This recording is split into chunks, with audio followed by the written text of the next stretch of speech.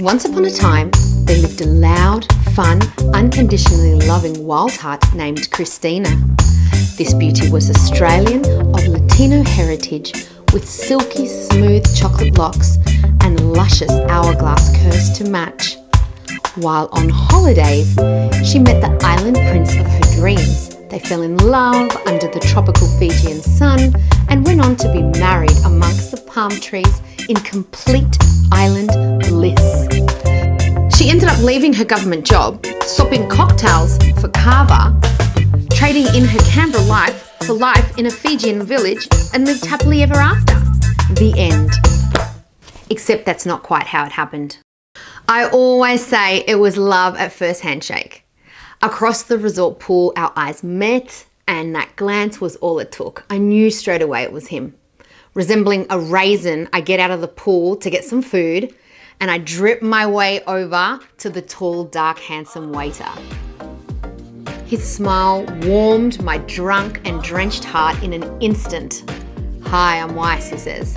Right there, in that moment, I knew. I knew I would marry this man and I knew life would never be the same again.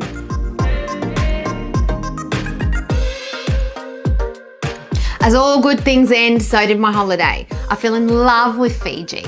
Island adventures, village tours, partying with the locals, amazing. I turned to my mate while trying my best not to sound deranged. We are coming back, I say to her. I'm going to marry that man. She just laughs. Six weeks later, we're back on the plane to Fiji to find my island prince. I dump my bags and run to the pool in my search. Three cocktails into drinking my emotions, I look across the pool and there he is, sporting a Sulu, flower in his ear, just as handsome as I remember. He recognises me and comes over. Shit! Could he be married, have kids? What if he's game? Why did I come all this way? You're back. I'm back, I say. I waste no time. Do you want to go out with me tonight? Long story short, a bunch of really soppy romantic shit happens next, followed by plenty sexy time. Turns out he wasn't gay, was single, had a son, and we were inseparable from that moment on. I was loved up with my Fijian dreamboat, and as usual, I didn't just throw caution to the wind. I catapulted myself straight across the South Pacific. I travelled back to Fiji many times to see him and was burning through savings fast. Meeting his family in the village was interesting. They filed in one by one the mum and the dad, the sisters, the brothers, the nieces, the nephews, the cousins, the aunties, the uncles, the namesake, the grandmother's cousin, the cousin brother, the neighbour, and so on. I was welcomed into his family and the village with open arms. Felt at home. I brushed up on the local lingo and soon became part of the furniture. On this one trip back, while we swam at the hotel pool, he whispers, What would you say if I asked you to marry me? No hesitation, I say yes. We giggled, and that was that. Swimming under the moonlit sky, it was decided we were to wed. We splashed around, just two lovebirds, me, him, the moon, and the entire Samoan rugby team sharing the pool with us. We missed each other too much every time I went home. A $7,000 phone bill later, I decided it's cheaper to move my life to Fiji. So I quit my job and was off to give island life a red hot go. My Latino family freak out, but I don't mind as I'm loved up and ready for island bliss. I pack my bags, I set off for life under the coconut trees. Dad drops me off. I cry most of the way over, both excited and scared to start my new life.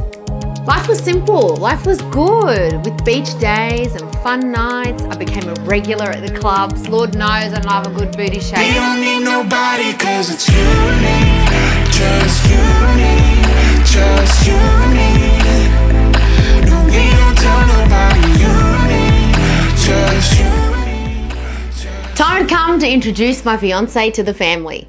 So we set off to Australia for holidays. We decide we're going to move back into the village when we come back to Fiji. And we leave my mother in law to be in charge of selling off our furniture in order to pay off for all the wedding expenses. So the Aussie holiday was over. We head back to Fiji to prepare for the big day.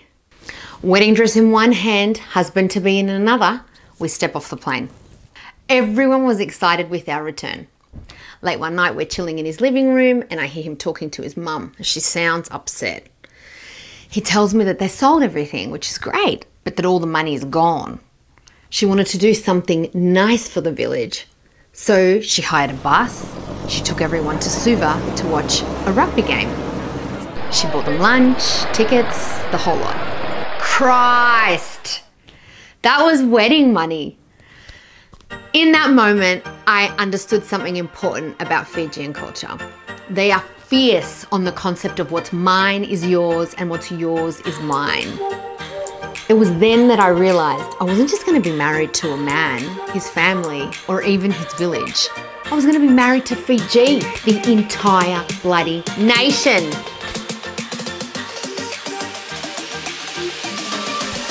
I could almost hear wedding bells, and of course, I end up with gastro. My Aussie guests visited caves, mud baths, waterfalls, and partied at the local clubs and I spent the entire time on the toilet with my head in a bucket. It finally clears, so we join everyone for an island boat trip. Crystal clear waters and palms take my breath away every time. We take a snorkeling tour to the middle of the ocean. Everyone on board was now overboard, enjoying the reef. I'm ready to jump in except a family friend of ours is stuffing around at the boat exit for far too long. Trying to get in the water or possibly not get in the water, she can't decide. Come on, lady, you are cutting into my snorkel time. Just jump in, I yell at her. I get sick of waiting, and so I try to go around her, except I slip instead. And my bikini bottoms get caught on the stairs, and I'm jackknifed literally in half ass out, flashing the entire crew. God damn it. Yelling and attracting even more attention to myself, I continue to moon the crew, the captain, and the remaining tourists on the boat. My man runs over, unhooks my bottoms, and I bare ass bomb straight into a pile of tourists. The big day finally rolls around, and I'd never been the type to daydream about a fairy tale wedding or anything. And for the record, had I known our big day was moments away from dying in the ass, I probably wouldn't have bothered getting out of bed that morning. I wasn't exactly bridezilla or anything, but suddenly everyone's got white flowers in their hair. Just because we're in Fiji, people, doesn't mean you have to go and hang a whole frangipani tree off your head. For God's sakes. I look in the mirror and burst into tears. It was horrid. I mean, horrid. The hairdresser had styled me straight back to the 80s with this wicked deconstructed, reconstructed beehive look.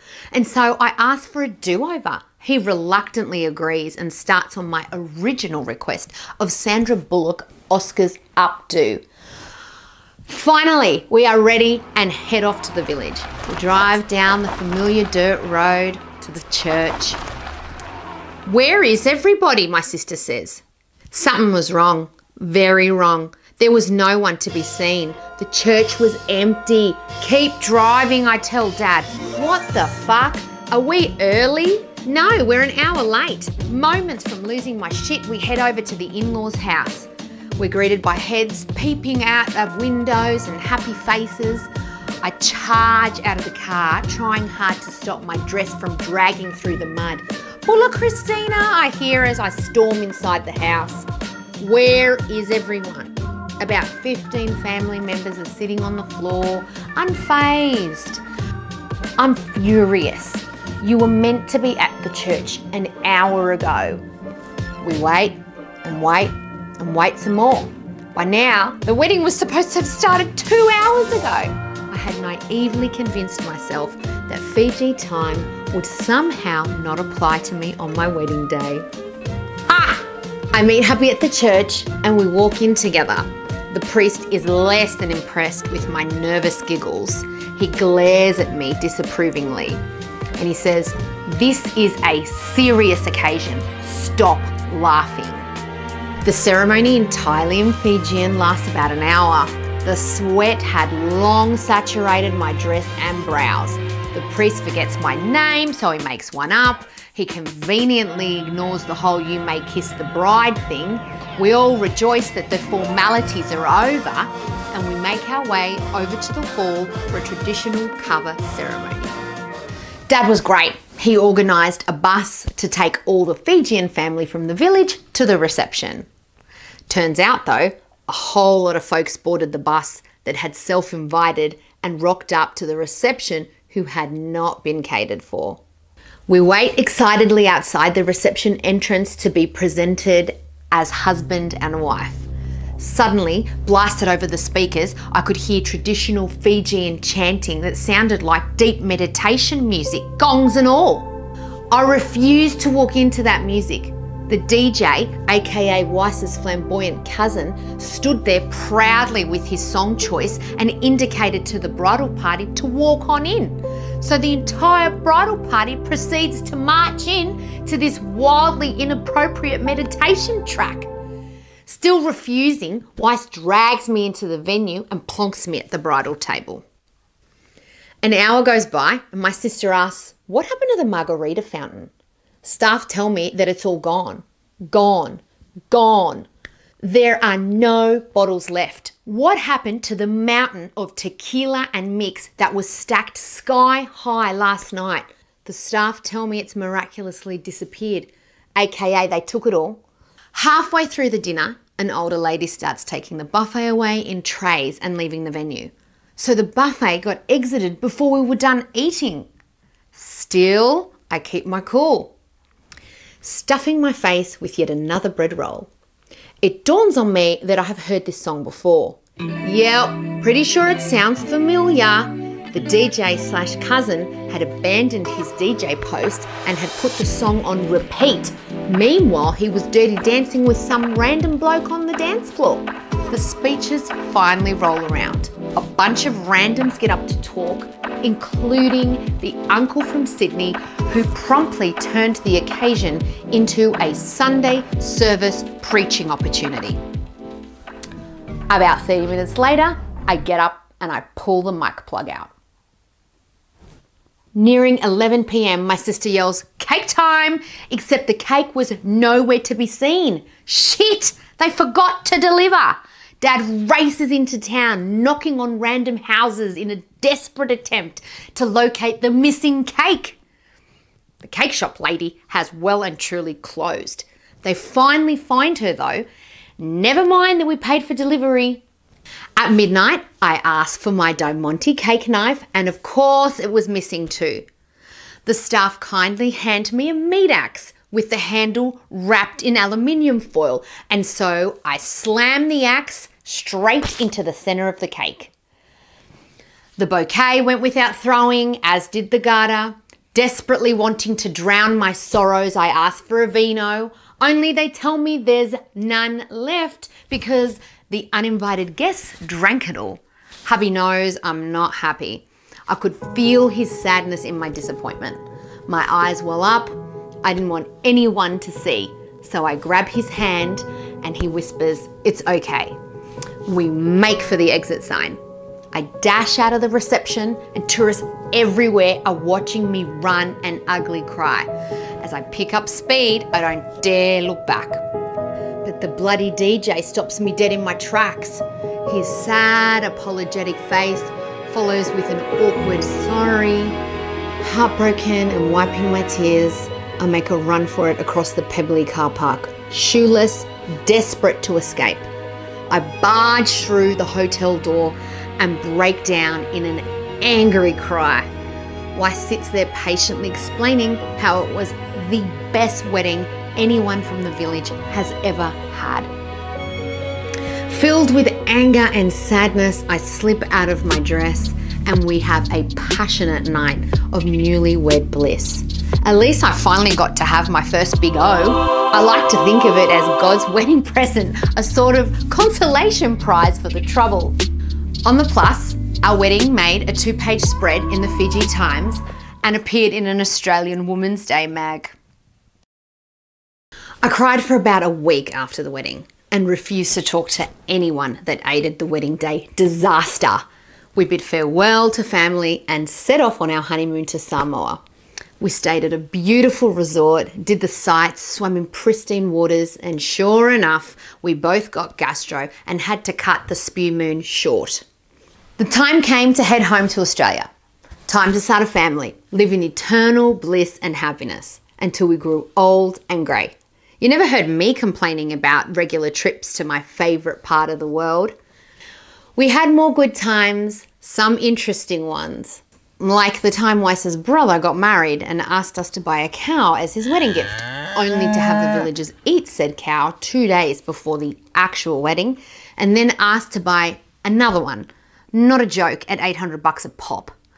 We had our fair share of buying pigs and chickens and other livestock for various family members' weddings and funerals and birthdays.